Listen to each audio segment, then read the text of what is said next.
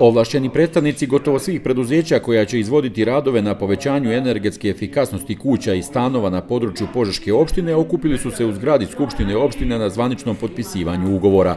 Ugovore sa njima je potpisao predsjednik opštine Požega Đorđe Nikitović jer je opština ugovorna strana koja je uz podršku Ministarstva rudarstva i energetike obezbedila sredstva za subvencionisanje u iznosu od 10 miliona dinara.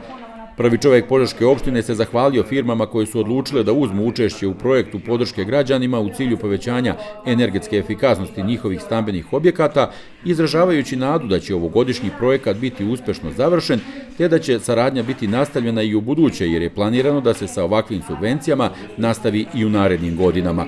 Nakon ovog potpisivanja, svoje potpise na ugovore treba da stave i građani kojima su subvencije odobrene, čime će izvanično moći da se krene u izvođenje radova.